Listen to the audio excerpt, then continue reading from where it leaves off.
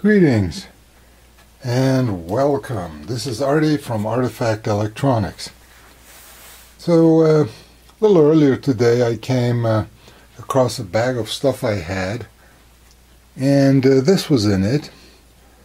It's an Entex Space Invaders handheld game from 1980, and uh, let's have a look at this, see if we can get it to do anything, and uh, how much fun this is.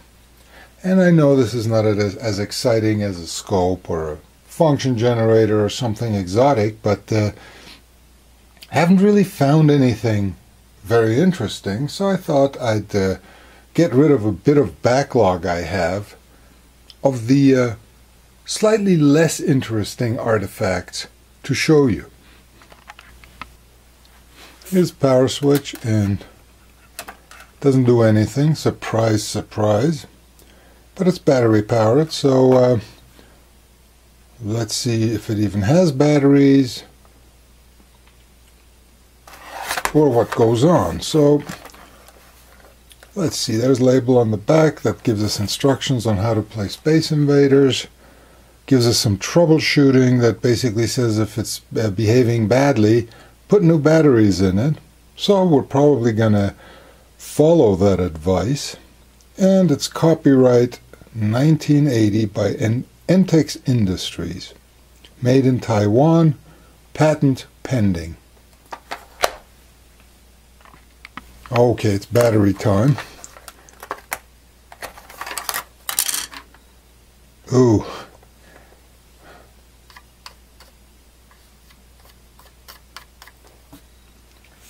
These batteries have leaked. So not only are they completely dead most likely, but let's see what kind of corrosion they left behind. Oh, there's white flakes all over the place. And no, real men don't wear gloves when they remove leaked batteries. Yeah, they are all in pretty nasty shape on both sides. So uh, let's shake out the dirt here.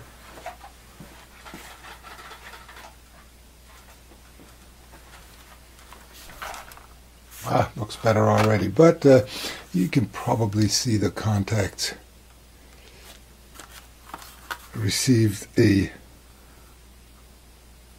good amount of corrosion. So first let's get rid of the uh, coarse stuff.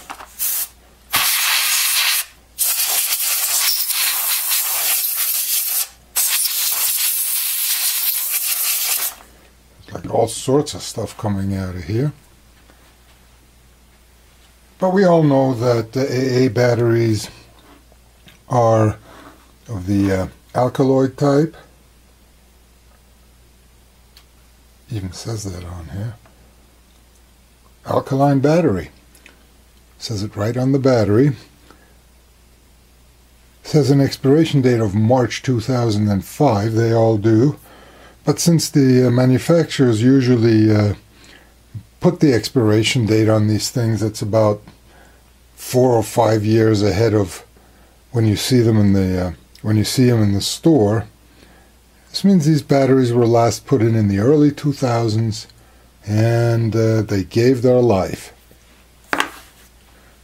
Since these are alkaline batteries, uh, probably the best way to clean them up would be plain old household vinegar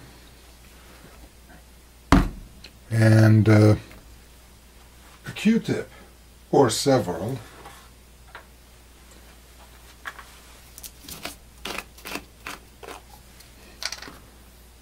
And let's see if we can get that corrosion off the battery terminals.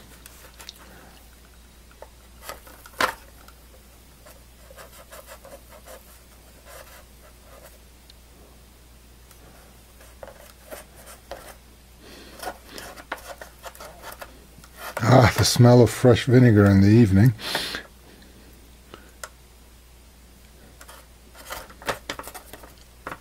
So yeah, this is going to need a little more in-depth cleaning. But in the end, it's not too bad. Most of the stuff's coming off. The uh, contacts haven't been eaten away to a point where they break apart or lose stability.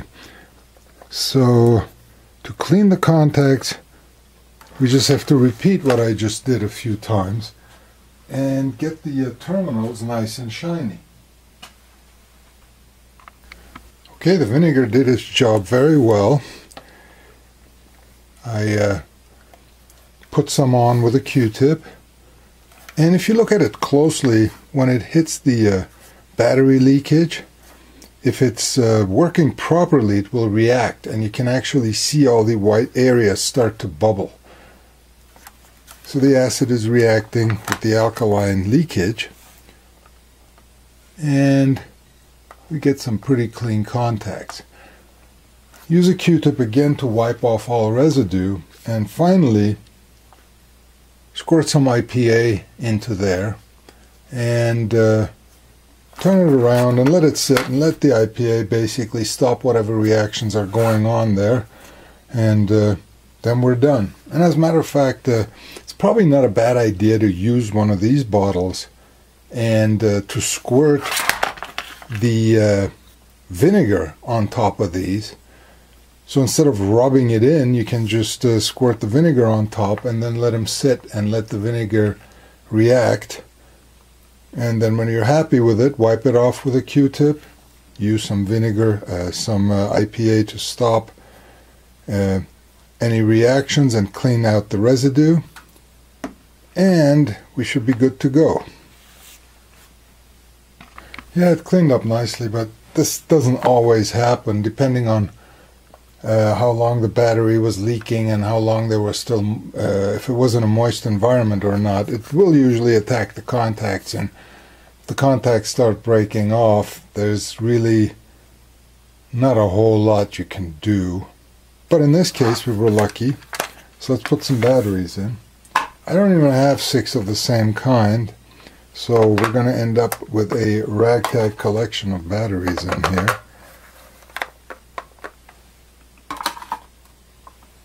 but uh, I measured all these batteries they are good they seem kind of shorter than the other ones look at the loose fit it's very interesting and uh, finally we'll put in the uh, ultralast batteries and those fit in tightly so these sunbeam batteries which are the uh, dollar store special seem to be physically shorter. Just ever so slightly, but well, let's hope the battery door keeps things in. And drum roll.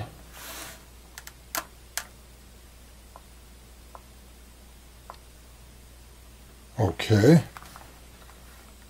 Kind of came up. It's we have an amateur and a professional here. but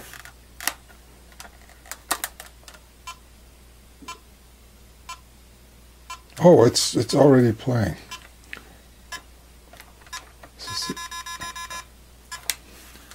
right let me hold it in a way that you can actually see what's going on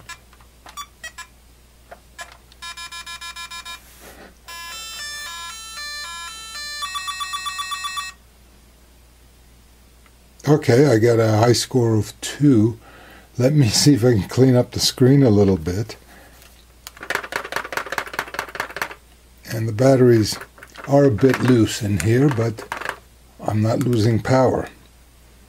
So yeah, let me clean up the screen a bit and see if I can get this to a point where you can actually see what's going on on the screen. Well, this angle doesn't look too bad. Okay, you got to turn it on and off.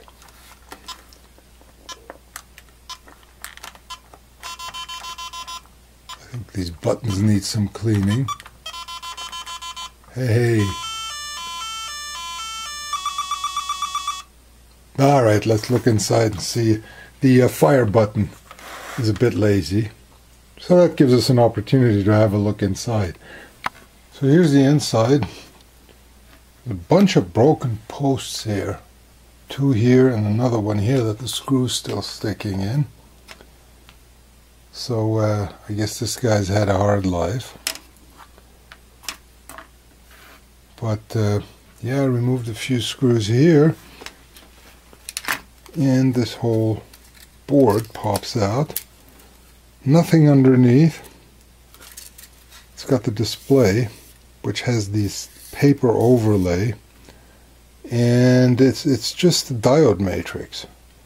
Here are the drivers and the limiting resistors. And the seven segments are also like that, even though they show the full segments. But you can't. There's actually only one LED behind each segment. But with the diffuser, I guess uh, you can't really see that when you're playing the game. And then, of course, down to the uh, logic in here. It's got an MP1211 and uh, I guess the date code is 8119 so the 19th week of 1981 and that's all she wrote this is an embedded processor that's pre-programmed for the game I'm sure and uh, that's really all there is to it it is a through-hole part but it's got a different uh, pitch on the pins and then we got a bunch of uh, flex cables running to the display matrix. And that's all there is to it. So I cleaned the, switch surfaces. Some dirt came off. I would not use uh, alcohol on these, of course. It's probably going to take the surface off, so just wipe them with a slightly damp cloth. And it's kind of interesting to look in here and see uh, that the uh, diode matrix, there's really tiny surface mount diodes soldered at the intersection of the matrix points, which of course you can't see. Let me try anyway. Down there in the holes. And that comprises the uh, display matrix. Normally they got like custom uh, fluorescent displays that have the shapes and everything on there, but over here they achieved the same effect by just making a rectangular display and uh, so the only thing custom about this is really the overlay. I guess you could put another overlay on here and play Pac-Man. Be a pretty lousy Pac-Man, but uh, it's an interesting approach. Other issues uh, are the terminals on the inside. Come on.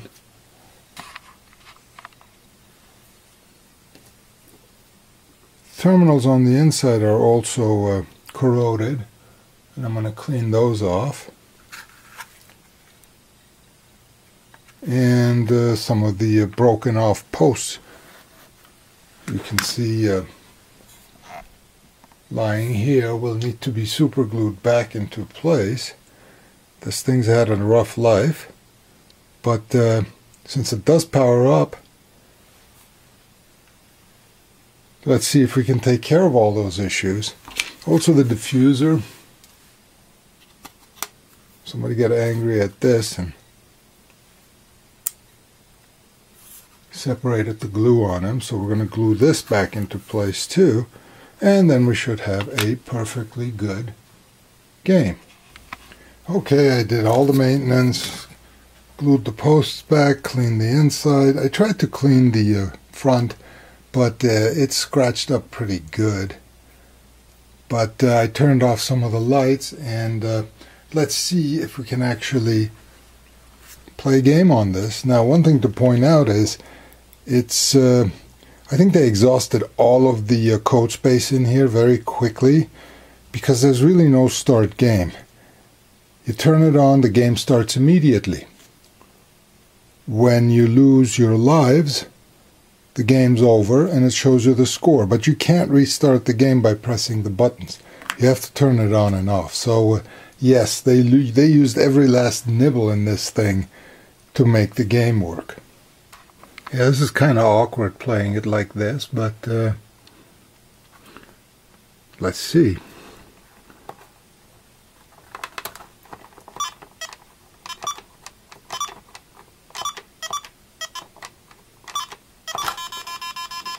Not good.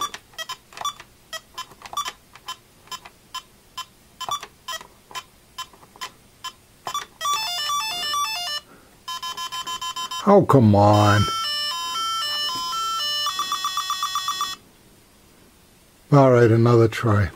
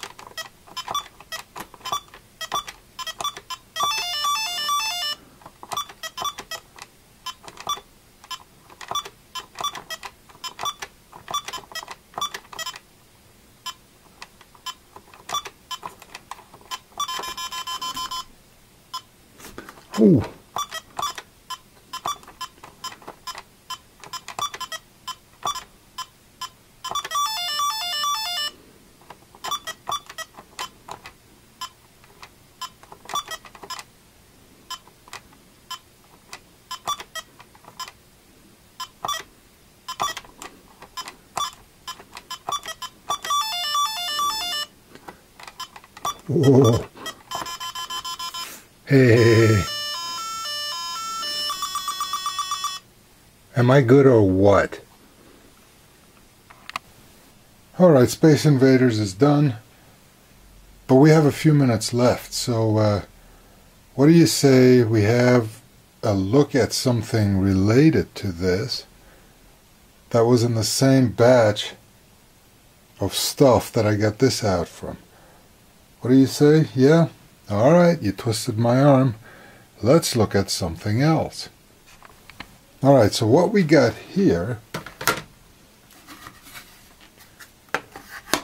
is this guy, which is a, Lego RCX 1.0. This was their initial release of their robotics invention system. And this is the brains. It's got a processor. It's got some uh, DC motor drivers. And uh, it basically works through an I, it's programmed through an IR port.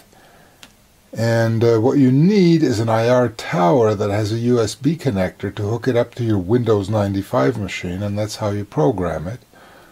And uh, then you upload your programs to this and you just uh, put this in whatever model you have and run the program. And uh, there you go. There's your Lego robotics system I got a partial kit for a few dollars, missing a lot of pieces, but at least let's see if the brains still work. This thing's kind of heavy for its size, so I bet you there's batteries inside, but uh,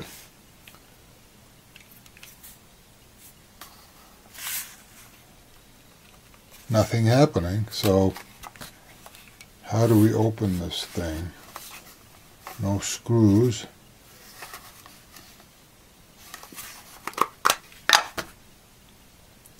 Lots of batteries.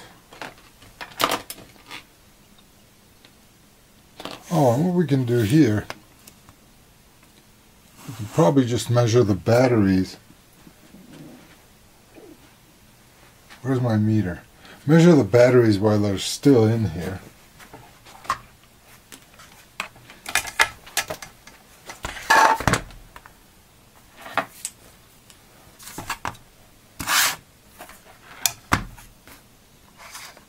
you see that? No, you can't.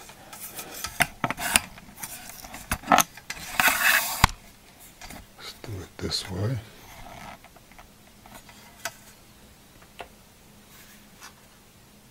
Yeah, you can kind of see that, but probably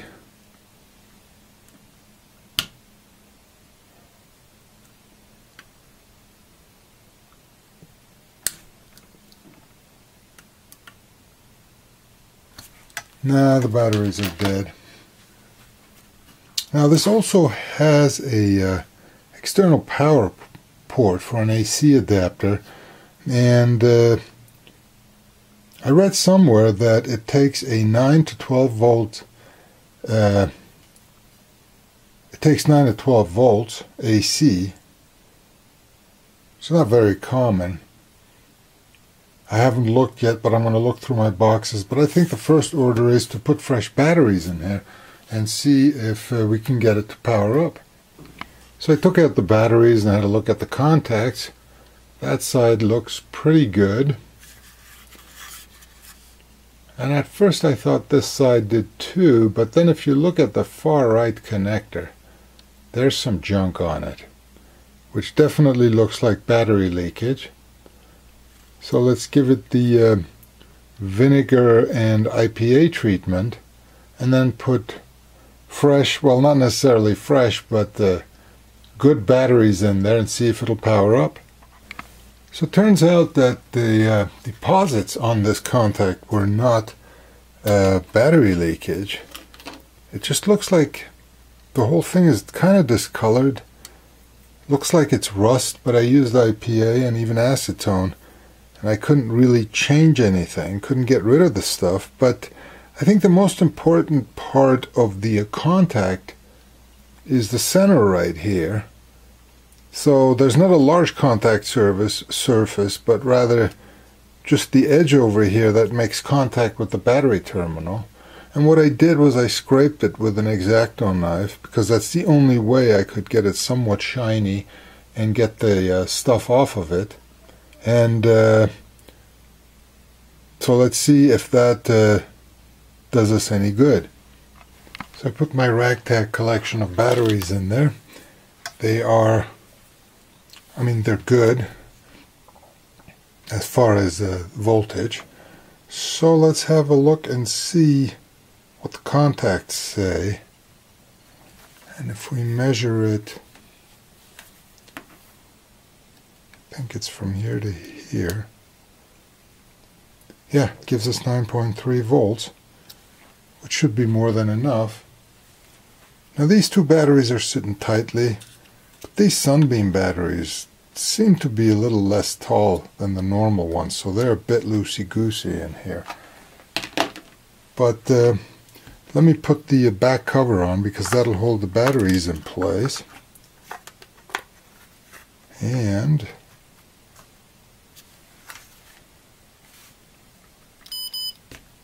off we go.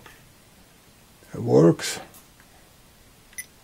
you can select different programs.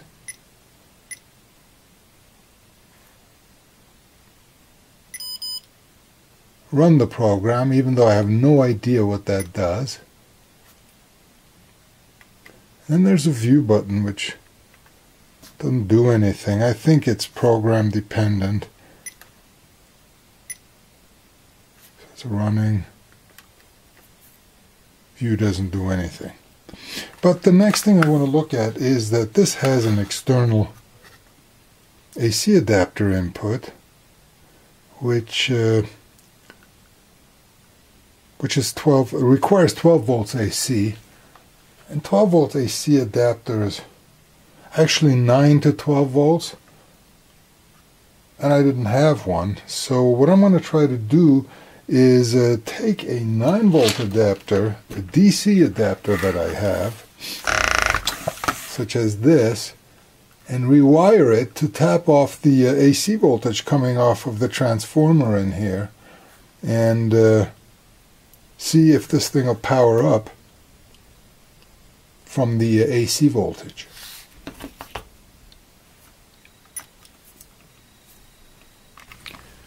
So the magic is done. Poof! And the top comes off. Isn't that great? Now I cut it with a Dremel tool and ended up with some uh, messy margins in here, but it came off and I, I actually managed not to cut into anything inside. So what we really have in here, and this is off, we have the transformer and then uh, a full wave rectifier in here with uh, four diodes and a smoothing cap. And all we really got to do is uh, change the uh, wired connection to go directly to the transformer secondary that outputs somewhere around 9 volts. Now I didn't pay attention. One other thing I did was uh, this plug. It's too narrow to fit into the RCX, so I'm going to have to change the plug too, but I've done the majority of the work dremeling this thing open. So now let's see if we're actually getting something around 9 volts AC out of this.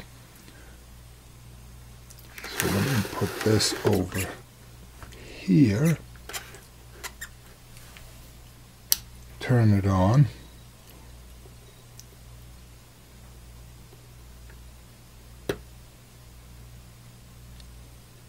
No. Oh well, it gives us 11 and a half volts AC from the uh, center terminals of the secondary on the transformer. So let's uh, transfer the cables that connect to the rectified output to the secondary uh, that we need. So I just removed the entire rectifier board. Uh, which was only attached to the two secondary pins on the transformer and then soldered the output wires directly to the secondary outs and uh, we need one last test. So here we go. 11 and a half volts AC that's well within 9 to 12 volts. So let's put this thing back together and tape it back together and there you go. And most importantly, uh, change the label on it so I don't uh, fool myself down the line. And then we'll actually plug in the RCX and see what's happening. And here, my good friends, is the uh, beautiful result. I put things back together, gave it a professional wrap, the kind they use on cars. So it looks brand new. Labeled it, at least that isn't handwritten, and of course gave it the uh, proper barrel plug at the end. This is this is uh, no doubt the ugliest power adapter I do have, but they don't call them wall warts for nothing. So well, let's see at least if it does its job. So let's see if we can blow up this RCX here. And man, this is like, I took the batteries out. This weighs like half as much as it did before. And uh, nothing happens. Why? Because the power strip is turned off. Again. So yes, it works. Stable.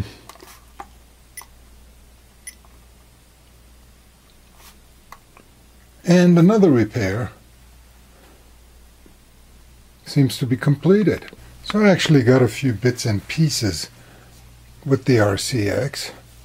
Two motors, a switch, and um, I think what this is, it's a, a color detector. And so let's see if any of these guys work. Now one thing I noticed immediately was this motor can be turned by hand and turns pretty smoothly. This one doesn't turn by hand at all. I don't know whether that's because I'm worthless and weak or uh, it is completely seized, but uh, what I thought I'd do is use some leverage. And I can turn it that way, but it turns pretty rough. So let's uh, first put in the good motor into output 1. And now this depends on what kind of programs are in here. I couldn't find any description for them, so let's just see what happens. So if we run this, this guy starts turning, and it just turns forever. If I press the switch, nothing happens. And if I plug in the uh, supposedly seized motor,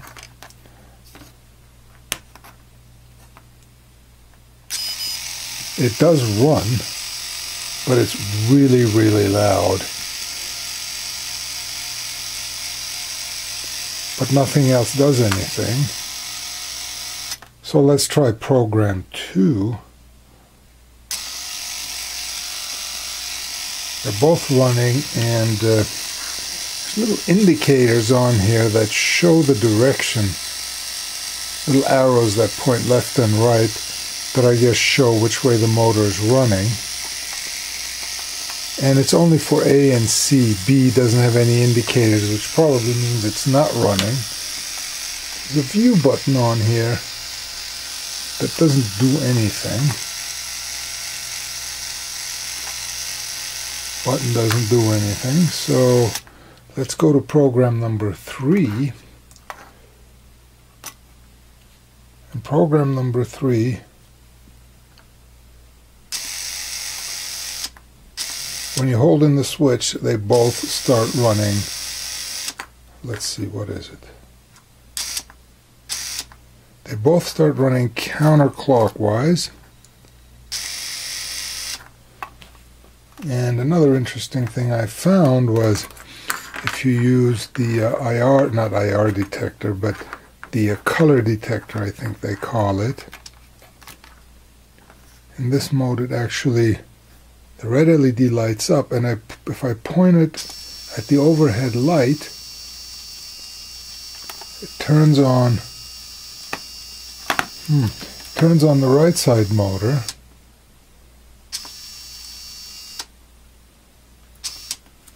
so uh, do I have a light source I mean oh there's another light source over there that I'm pointing it at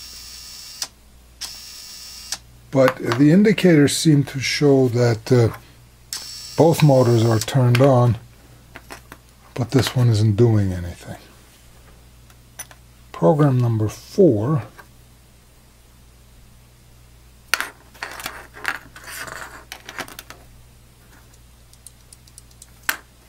Nope.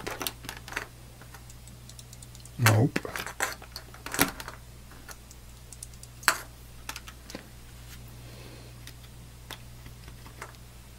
Oh, will help to run it.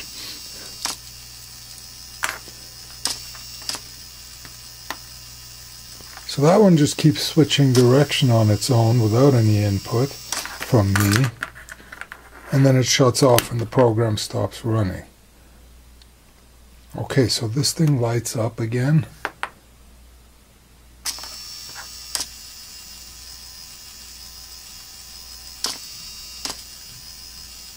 it just automatically switches the motors back and forth in direction. You know, this guy stopped functioning again. Maybe it just has a huge dead spot on there. Yep. So this started running too, but I have to look into disassembling this thing.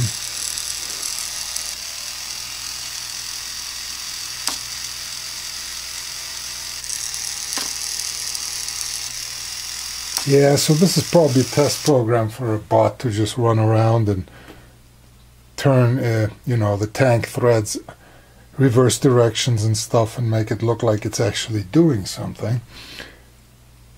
Program number five.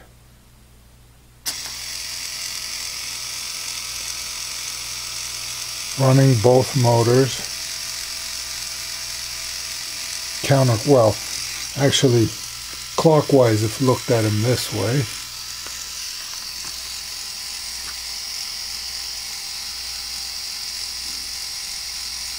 Doesn't do anything. See if the switch does anything.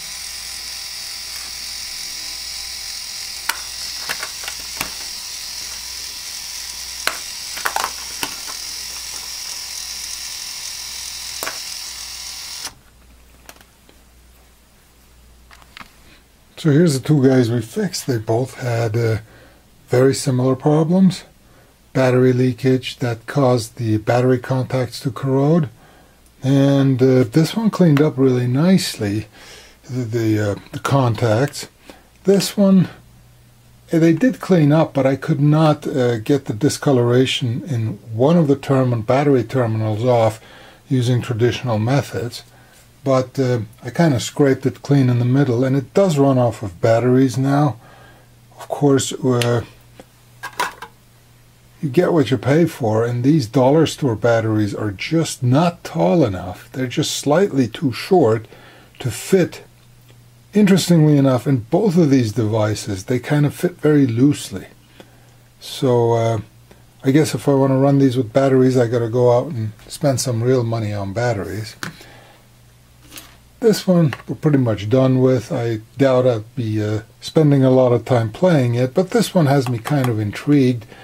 Uh, as I alluded to, I, I, do have a partial set. It came in the original box, but uh, uh, there, are, there are many bits and pieces missing. And if I come across something else, if I can ever complete this thing, I will uh, probably do another video on this. And show you. I mean, you need a Windows 95 machine to run the software properly. And uh, of course, uh, that software is no longer supported by uh, Lego. But I actually, in the bits and pieces I got, I did get the uh, original CD, which is scratched up quite a bit, but uh, I did attempt to copy it to to my uh, regular machine and it worked. It was able to make a copy of the whole thing. So I do have the software. So um, maybe I'll either run DOSBox or VirtualBox or whatever on the PC or I'll dig through my PC uh, garbage and see if I can put together a Win95 machine and have a look. The, uh, the uh, operating software is quite interesting. It's it's totally visually driven, uh, drag and drop stuff where you, you connect logic blocks together and uh, and I think what it does is it downloads pseudocode to this, and uh, then this just executes the pseudocode, taking one of three inputs and uh, affecting one or all of three outputs. Thanks for watching. And uh, please support the channel. Give me a thumbs up if you think I deserve it. And make sure to subscribe. See you later.